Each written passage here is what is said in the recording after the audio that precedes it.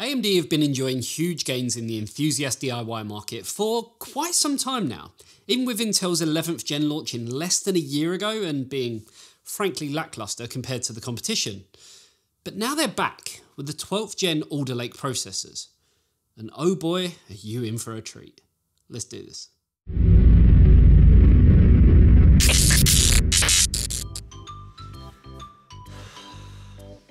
I wish these files would transfer faster. Come on! Whoa, is that the FireCuda 510 NVMe drive with its blistering fast speeds of 3450 megabytes a second read, 3200 megabytes a second write, and capacities of up to 2 terabyte? I can have these files transferred in no time. And if I'm looking for the ultimate performance, I could even get the fourth generation FireCuda 520. I better check the link in the description to find out more details. So you've probably noticed that today is the day where we can talk about the performance on the new Intel 12th gen processors. And I'm sure you've seen a ton of videos and your social media feeds are pretty much blowing up with content right now. So I don't want to talk too much before kind of showing you the real reason that you're actually here, which isn't about me showing you what a processor like this actually looks like, but it's more about those juicy benchmarks. But let's talk about what we do have here and kind of what it means and where it's positioned. So we have three chips here, the i5-12600K, the i7-12700K and the flagship i9-12900K.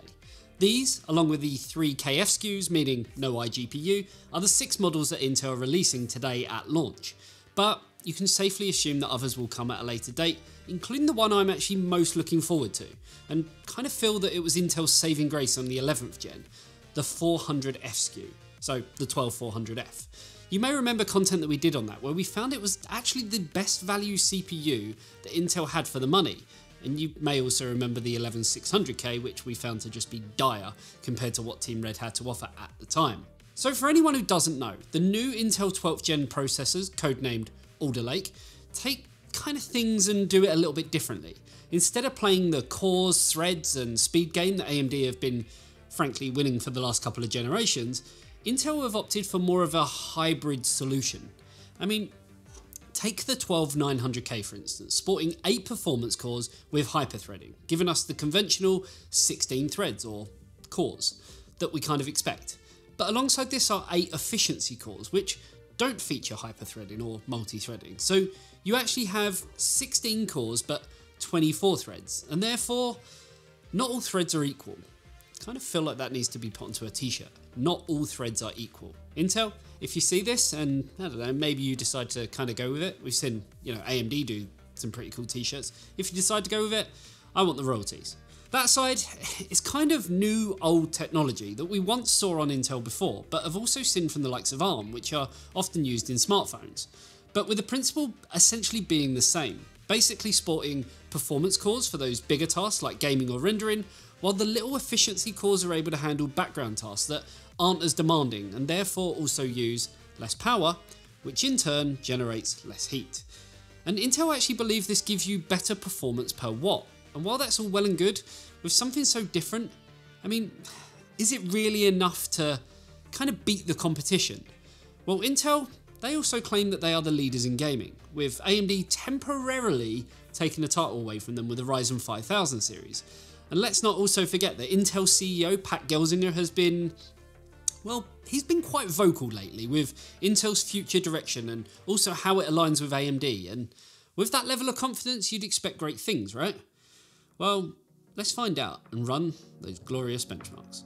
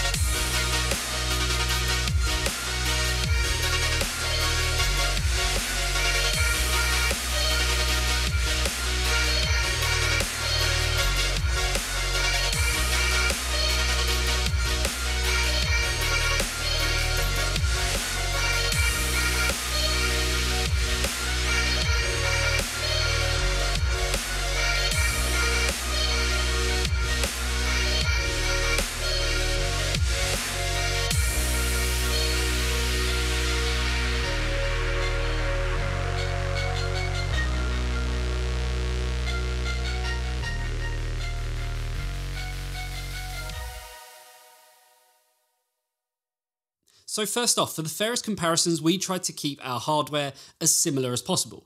So on our Alder Lake test bench, we used the Maximus Hero from Asus, 32 gig of Corsair Dominator RGB DDR5 5200 MHz memory, a Noctua D15S, Gigabyte RTX 3080 graphics card, and a Corsair HX 750 PSU, along with the latest Seagate FireCuda 530 2TB NVMe drive to alleviate any bottleneck.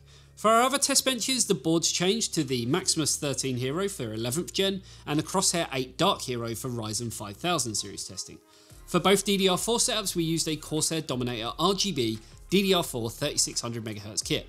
All other parts stayed exactly the same. So with all of that out of the way, let's break this down into kind of different sections because there is a lot to go through, especially with this kind of newish hybrid architecture and the addition of other variables when looking at Intel 12th Gen because performance aside, we now also get new technology and new functionality. Remember, for anyone who doesn't know, and if you want to find out more, definitely go and check out the preview content we did in this prior to you know this launch. We now not only have new processors, but with this kind of you know big little architecture, we also have other things like Z690 as a chipset, DDR5, PCI Express 5, and a whole host of new things that come with that.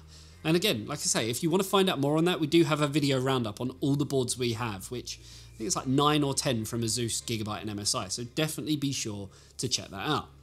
So, all of that to one side. Intel set out to do a couple of things, very much like AMD did when they came out with Ryzen 5000 series. The first was to bring the fight to AMD in a variety of ways, which, from the benchmarks, we can safely say they did exactly that. There were only really a few tests that saw AMD dominate, which were more, let's say, core focused, where having a higher core and thread count actually does make a difference. And then you have to ask the question about whether that's worth it for you based on, say, price comparisons. So remember, the 5900X currently comes in at £480 in the UK or $524. The 5950X comes in at £640 or $720, while the 12900K comes in at £580 or $650. And I'm sure if we looked into it, a similar story would play out with the lower end parts too. Now, the other area that Intel were keen to shout home about was gaming. They were always the leaders in gaming performance, right up until Ryzen 5000 series launched and had a simple message of improving IPC and beating Intel at gaming. And that's a title that Intel wanted back. And based on the few game tests that we ran, I think we can safely say they did that. It's funny because before all of this, we went to an Intel event in London and saw the same benchmark charts that you guys have seen kind of plastered about here, there, and everywhere, comparing the 5950X but we all know that the 5900X was the better chip for gaming, and Intel still beat that in our tests. Maybe they wanted to keep that as a bit of a secret for us reviewers and tech media to really kind of give us that element of surprise. If that was the case, good job Intel. You got us. And I can now really kind of tell why Pat Gelsinger was so brash with his tweets and statements. He had a way of backing it up, really that simple.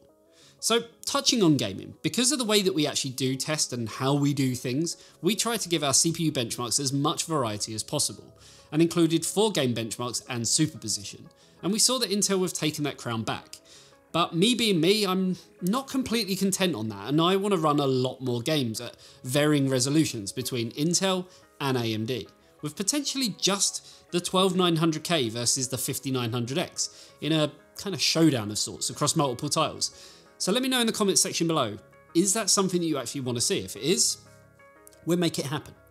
Now when it came to synthetics like 3D Mark and PC Mark, we did see a close battle with AMD beating Intel in PC Mark, albeit by a small margin, and a slightly bigger margin in favour of Intel in Firestrike, though the physics score clearly helped boost that overall score for the 12900K. TimeSpy, we saw the gap even larger in favour of Team Blue, and the same was seen in other benchmarks like Geekbench, showing that it's kind of a bit different now. It's not just all about cores and threads and trying to make them as fast as possible. There's a lot more at play. Now, when it came to render workloads, this was very interesting as it goes to show that different software and different workloads favoured different products with kind of a split really. Corona, for instance, clearly favouring the beastly 5950X, while the likes of Blender saw better performance from the 12900K. Again, looking at V-Ray and Handbrake 4K conversion, AMD did hold the crown on this, due to the larger amount of equal sized cores and threads, but this could always get better at a later date as well.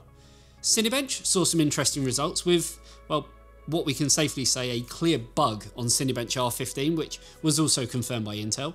But in the newer versions, such as Cinebench R20 and R23, we saw huge gains from not only the 12900K, but also the lesser 12700K and even the 12600K when comparing to the likes of the 5600X. Now, when we look at other areas of kind of what these chips actually bring, the addition of DDR5, I mean, with this, we really saw a large increase in overall memory throughput, around 40% in most cases over DDR4, though AMD still having the upper hand when it comes to latency. I mean, what this translates to in the real world at the moment, at least, is kind of still to be determined. And with DDR5 being a new technology, I feel it's only kind of really going to improve over time, much like we saw when DDR4 launched and it was compared to DDR3, if we can all remember that far back.